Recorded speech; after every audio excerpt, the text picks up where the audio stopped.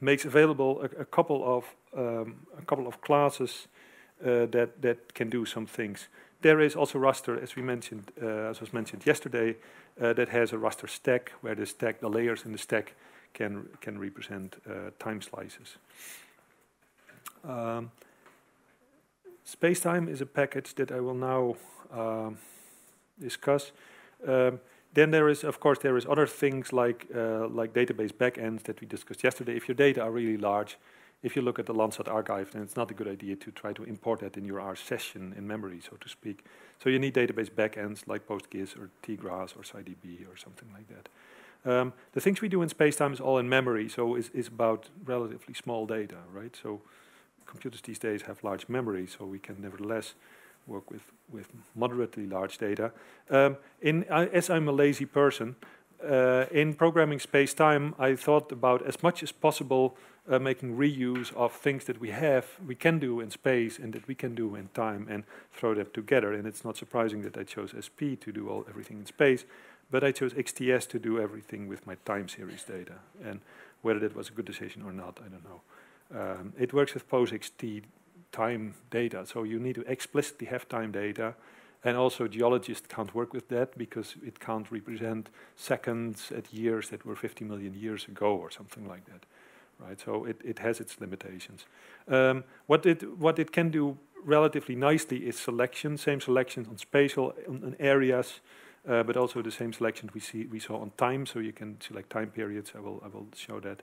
Uh, one thing you could do to look at this is to uh, go through the space-time vignette and also see, look at it if you want to know more about spatiotemporal data analysis in R, you can look at the task view and see if there are things for your liking. Yes, there is things, there are packages that do geostatistical analysis of field type data sets. There are packages that do point pattern analysis in space and time on object type data sets and objects and events. Um, and there is infrastructure for uh, for panel data. Panel data is, is like you know time series of, of, of state properties or some un unemployment economical data, but time series uh, where the space-time layout is regular. Um, I will now sort of say a few words before I let you further look into this vignette. This vignette explains basically everything uh, and was um, here we are SP so from SP we can get into space-time. That depends on it, so we can look at this space-time vignette. Uh, has been published as an as an uh, journal paper in the Journal of Statistical Software in 2012, and um, mm, so I of course added these logos and so I like logos, um, and it it has an added sentence here. It says this vignette here, this vignette is the main reference for the R package space-time. It has been published here, but it's kept up to date with the software. Yeah, so vignettes are often published somewhere. It can be, you know, papers, full papers published somewhere, but as you can't change papers when you change the software, vignettes also give you the possibility to keep updating, to keep improving, or keep the vignette at least in, in line with the software. Um, there is a bit of introductory text that if you want to look at, you can you can read. Uh, there is an, a few notes on how a lot of uh, space-time data that we that comes at us as in the form of tables, how that comes, and I distinguish three forms. One is the time-wide table, the space-wide table, or the long table, uh, and and you see all of them. So here is an example of the uh, SIDS dataset that clearly comes as a time-wide table, time-wide in the sense that wide the columns represent different moments in time, where the 7.4 refers to 1974 and the 7.9 refers to 1979. Yes, you just need to know it. Yes, that's all. Um, and it even has multiple attributes. It has birth, sudden infant death, SID, and NW birth is something like non, I think non-white birth or something like that. So it's it's uh, health data a classic data set. But you see here in the in the rows are the are the counties. Yeah, so for each county we have one record, and we have multiple times. So the multiple time, the time replication is in the record. Yeah, so that is what I call time wide. Another uh, possibility is that of course happens often when we have only few time replications. we nobody would ever like you know make a table with 500 columns where 500 time steps were put in columns. That would, nobody would do that. So that is why somebody invented the space-wide format, and this is how the classic wind data set that was analyzed by John Haslett and Adrian Raftery in 1989 uh, comes as uh, as a space-wide data set, right? So we have here at, as records encoded the the records are increasing in time. You see the year minus 1900. Uh, you just have to know the month number, the day number, and then we get the columns. That's not. I think that yeah, it could be all the columns. Uh, that are the wind uh, stations, so the meteorological stations where they measured wind speeds. This was a, uh, a study about spatiotemporal patterns in, in wind fields. Um, is data set is, is, is, quite old and it, it still if you go if you go download it it's I believe it still has this message watch out before you download this data set. This is a very large file. It's almost a megabyte.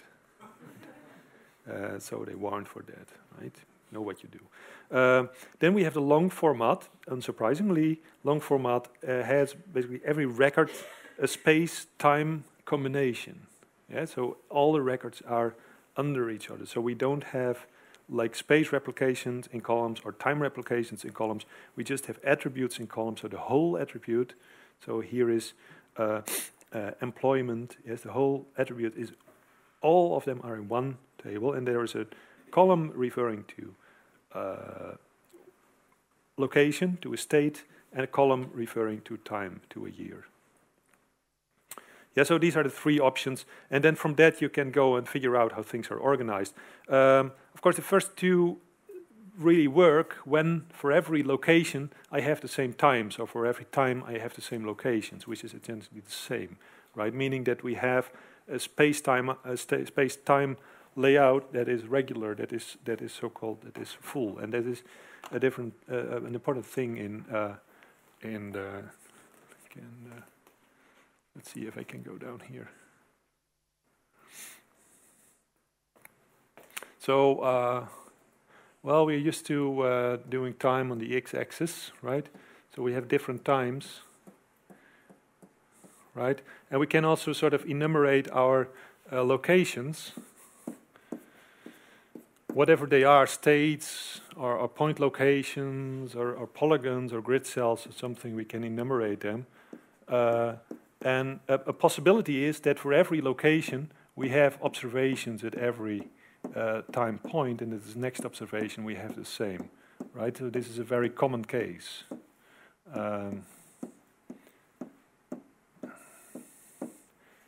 I would always, I would almost say this is uh, a common case when we have a, a field variable or an aggregation. Um, Another case that happens is that we have a, a similar setup, but that it's incomplete. Yeah, so so we have uh, many times that recur. Uh,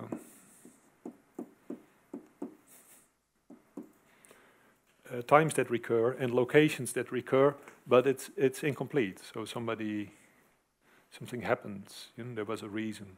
Somebody threw out some data, or there were problems in collecting it, or there were, you know, whatever that whatever was going on. It's incomplete. And the last a last possibility is that there is no structure. That is, there is just moments in time and um, and and locations in space, and and they're completely this. You know, this there is no no correspondences between the two, which would be the case, for instance, if you have a real spatial time, space-time. Um, yes, good question. Is there a way to fill these gaps? I think that is what the contest is about. Yeah, so we will we will look at that. Try to look at that later on. Yeah. Yes. Um, how would you fill the gaps?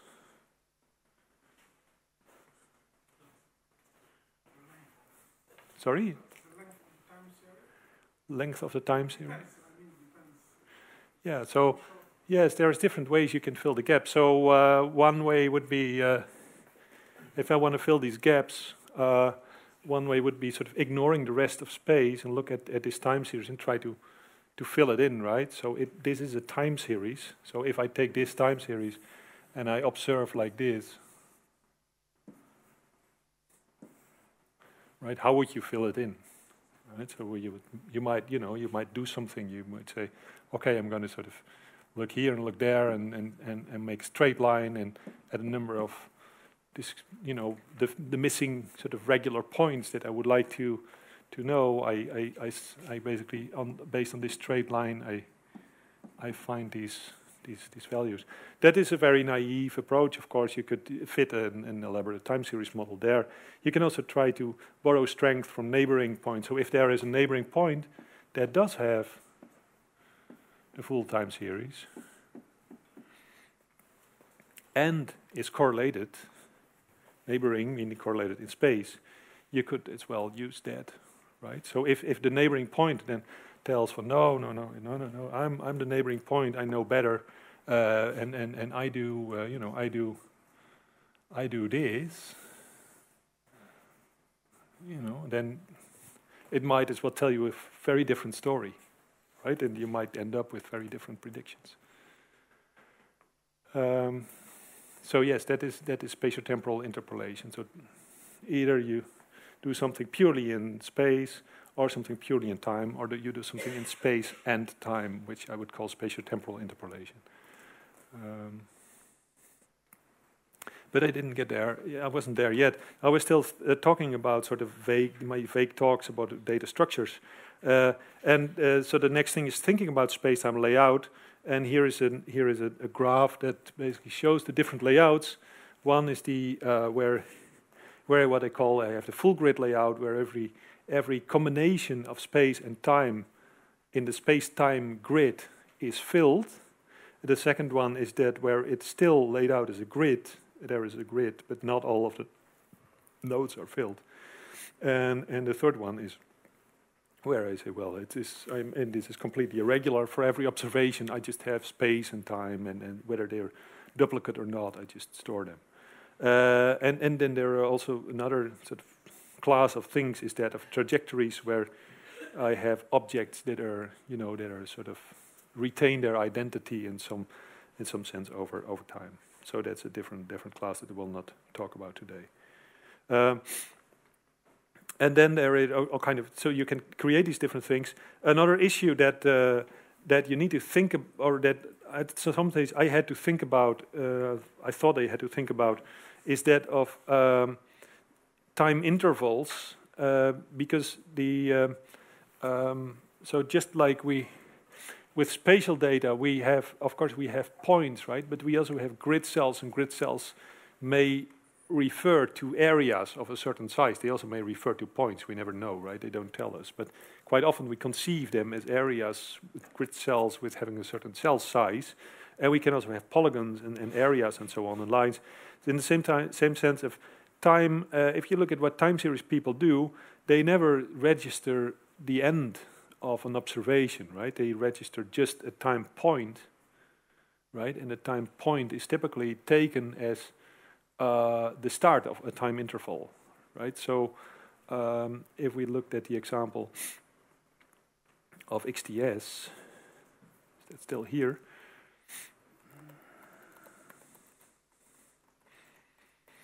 So the first 10 records of XTS give this date, yes, but if we look at the date, it is, it is actually, it, it turns out to be a time, and it's the start of that date, right? So it's a time moment that is, indicates the start of that day. Uh, whereas the information clearly is about the whole day. Yes, and you could wonder, is this about the 24 hours, or is this just about the eight hours that the market was open, right? So the open and close is the open is the is the moment of opening of the market, and it doesn't tell so, right? It is everyone understands that from, you know, because everyone knows what open, high, low, close data is, so they don't bother. Um, if you want to, at some stage, if you want to sort of combine things and, and look at things, then uh, more, somewhat more is needed, and, and you might at some stage have to define uh, time intervals. And in the space-time classes that I define, there is a an option to, uh, for every observation, not just register the time, the moment of time, but also the end time of an observation. So you can really sort of refer to the time uh, support, whether it's a moment in time or whether it's relevant for a period of time. Um, and then uh, basically the class structure here is this of the full data frame. Uh, a full lattice where all points are occupied, a sparse lattice where some are not occupied, and then an irregular and something for trajectories. And it follows the same sort of ideas of, uh, of the SP classes that we have basically the geometries, geometries indicating the spatial information and the time information, and then and, and then information for the end time, so the end of the time periods, and and these things are extended with with data frames. So the data frame is then obviously a long table, right? Having all the all the records, and the object should either by you know by being obvious, uh, being obvious as in this case. Uh, this case is obvious the uh, object should, you know, according to this scheme, one, two, three, this first record, second record, third, fourth record, fifth, sixth record, and so on. Uh, so we know how long the data frame will be. Uh, registers which space-time point, which uh, time and space combination refers to a record in my in my data frame, basically my attributes. And here I need to keep an index. Yes.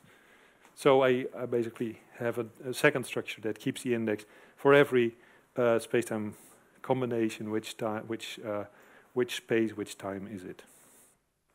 And the third one, again, is obvious because I have as many spaces, space locations uh, as observations and the same number of time observations. So this, those are the classes in, uh, uh, that we work with in this in this package. And um, an, an interesting uh, uh, sort of thing that I figured out is that uh, it, that it is relatively generic in the sense that I assume the uh, SP component of an ST of a spatial temporal object just to be spatial. Yes, that means it can be either points or lines or polygons or pixels, not grids. That is a detailed thing. But pixels represent grids, right? So um, and um, they can also have uh, can be spatial points data frame, meaning there is spatial information with attributes that don't change over time, right? They are stored there, so I don't have to replicate them. Uh, so, uh, so that gives a, a, relatively generic framework in the sense of spatial temporal data that doesn't constrain you to work with uh, just with rasters or polygons or points, but basically does everything at once and can, for instance, work with time series of, of fields here of interpolated data. This is interpolation of the wind data set. Uh, or here points, the, oh no, these are states. So this is time series of dates, uh, of, of uh, time series of temporal data, economical data, per state, you see here, per property attribute, uh, colored by state. So these are plotting options for, for different ways of uh, timeline plotting where I either group by state and color by attribute or group by attribute and color by state. Um, here is then this one of these Hovmöller plots where I have uh, locations and times in, in a, a two-dimensional plot. Um, and this is a multiple time series. Uh, and then there is uh, here a plot of, of sort of a time series of, uh, of, of pixels. And these are sort of this looks you know this looks a lot of work to make graphs like this. But if you have an, the mechanisms of SP where SP plot does all these kind of things, it's, it's you know it's relatively trivial to. I mean, it's trivial in the sense of five lines of code or something like that, not much more to create plots that do the same thing for a time sequence when you have organized them uh, well. And then uh, here is uh, here is an example of empirical orthogonal functions computed for for wind, interpolated wind values, and then there is a, li a little bit on trajectories that we will not talk about today. Uh, so that is there, and that is that has been published, and that is also available as a vignette. So you can also, in the same way that we discussed before the break, you can also run through this vignette and try to uh, to uh, reproduce this this whole paper and look what it what it does.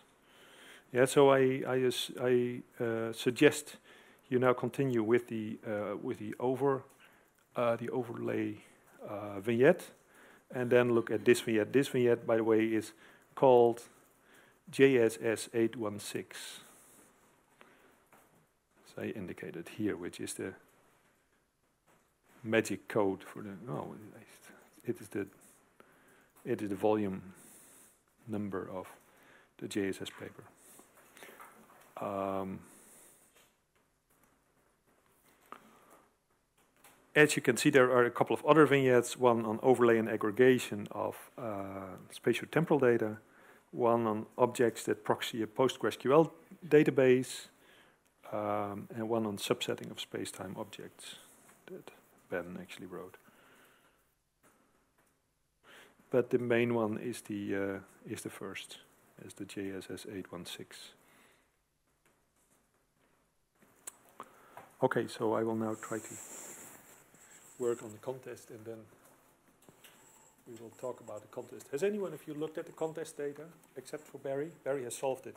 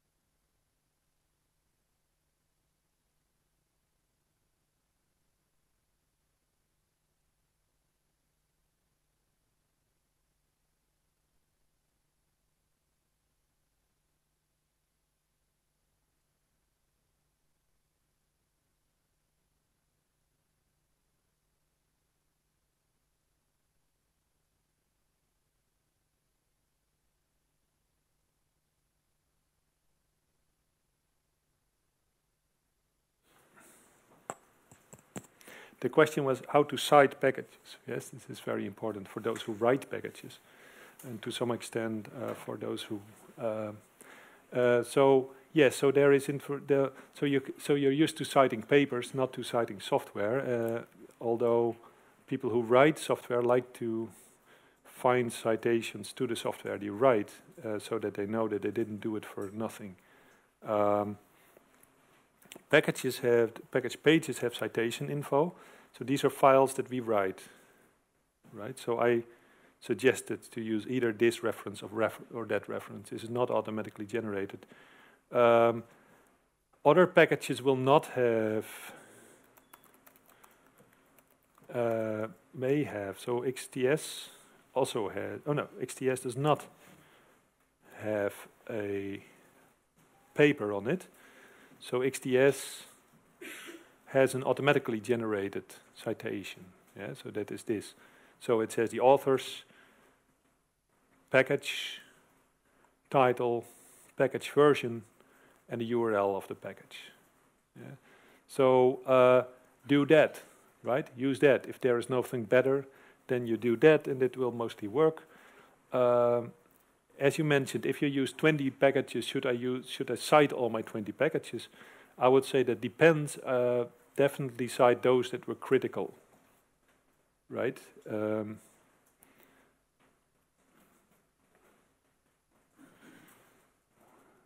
what is critical? Yeah, so. I mean, for sure, estimating the R square, I can write one line code calculating the coefficient of variation or something like that. Everyone knows what R squared is. You don't have to refer to the package. That's true. So it's always, you know, uh, do refer to you that you use R, right? And and R also has a citation. I don't think that that needs much more. So the citation for publications for R in publications use this R core team R language etc. Um, but you don't have to use for functions that you use from base R. This is sufficient, right? So everything from base R. So all the packages that come with base R, you don't typically cite. So if you use whatever is, I don't know if you would cite, you know, if you use ggplot or so. Everyone does it. I don't think he's interested in that anymore. You might put that in as an acknowledgement, but not as a formal citation. The stuff you use to manipulate the data perhaps acknowledge that you've used that. But right. That are crucial to your statistical analysis, the methodology, that, that aren't perhaps repeatable with basic functions. You want to put a, a decent reference. Yeah, it, it is a bit of a, a, a matter of taste and a matter of finding thinking what is trivial. I, I think that if there are uh, decisions you made that are important, so if you use some kind of maximum likelihood method that does some kind of optimization or some kind of intricate MCMC, then it really depends on which implementation you used. So if you used your own, describe how you did it. If you used that from somebody else, cite the package. Package and package version, so everyone understands, ah, he used that and I know much more about that, so that you know that might explain why that and that happened. Yeah? So that that helps. Whenever it's relevant, uh, do it. Yeah.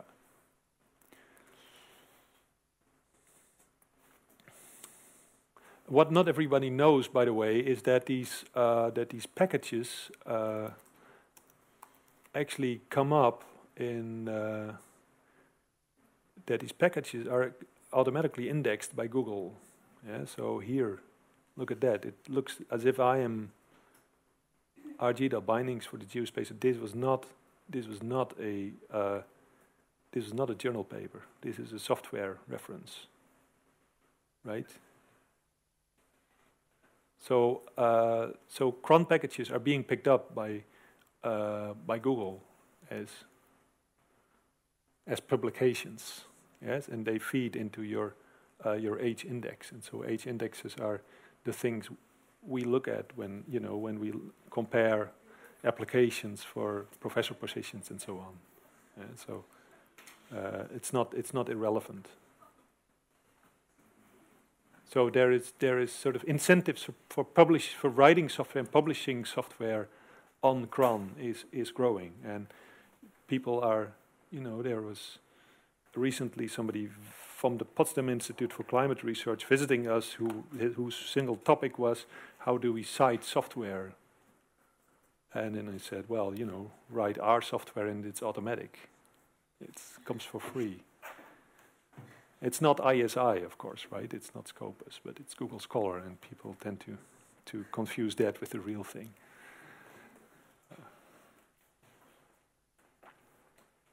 Yes?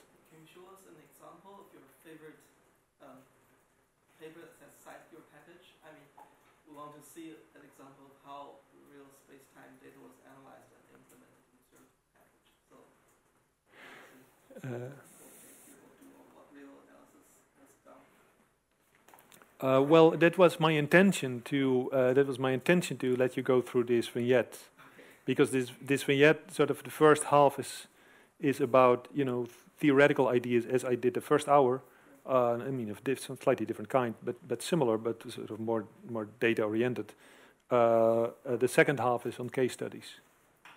So uh, they are not, you know, they're more like examples of. So they are not full-fledged case studies and descriptions of all the data because it's a single paper discussing a lot of different uh, things. Uh, there are, there is, there we we did some.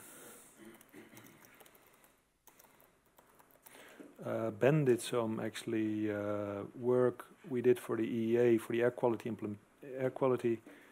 Um, we did a couple of reports for the European Topic Center for Air and Climate Mitigation. That is sort of a, a group of scientists who advise the environmental European Environmental Agency uh, to um,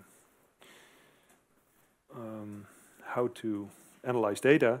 Uh, we did some spatial temporal analysis of PM10 measurements in Europe for 2009. So here's the report. So you can find the report. Uh, so here's the report. Um, so European interpolated maps, space-time interpolated, and and a lot of analysis of these data and, and comparisons of methods and some comparisons of space-time variograms and everything, whatnot. Um, that is there.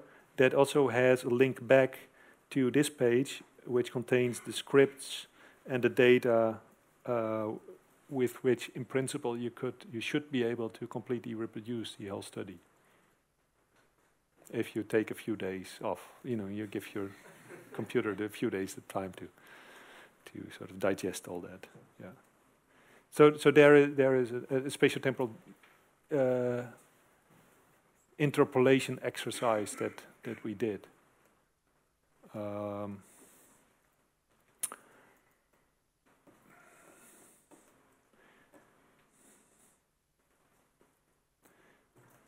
if you're interested in spatial temporal point patterns, then a, uh, a, a, package that does that is called STPP, one, one package. There's another package called LGCP. Oh, sorry, this is the wrong one. Um, and CRAN package STPP also has used to have a vignette. There's Barry, Barry again. Where's the vignette? What did she do? Uh, anyway, there is a.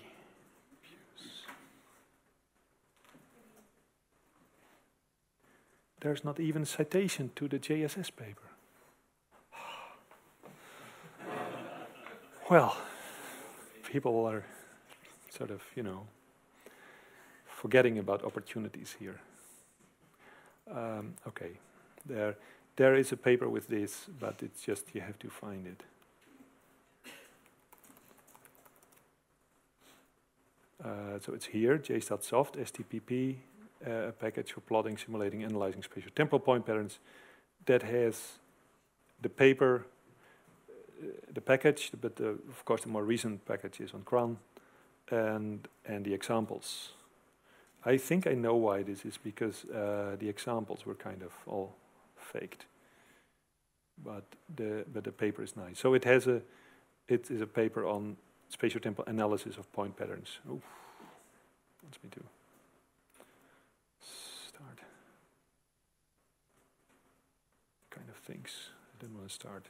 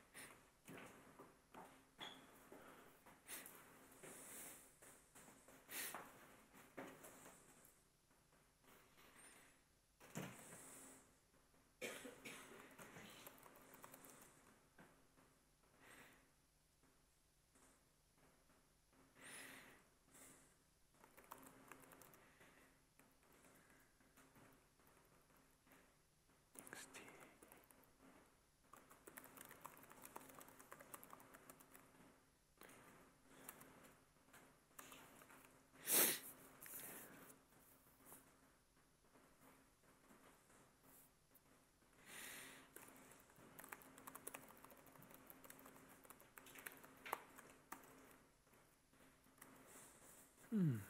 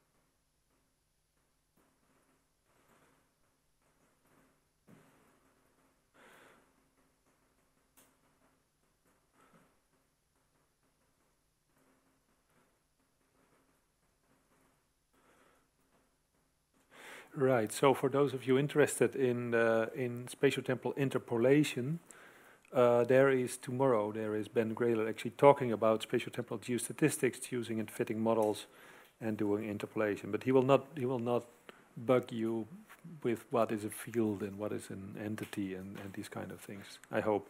So he will uh, assume that you understand that you're thinking fields, you have fields, and you will want to interpolate. And and so he knows much more about this than I do. Uh, so that is very good. But he's uh, he's a PhD student in my group, um, so we work together a lot uh, on this. Um, and he might have solved the con contest as well. Bribe him. I don't know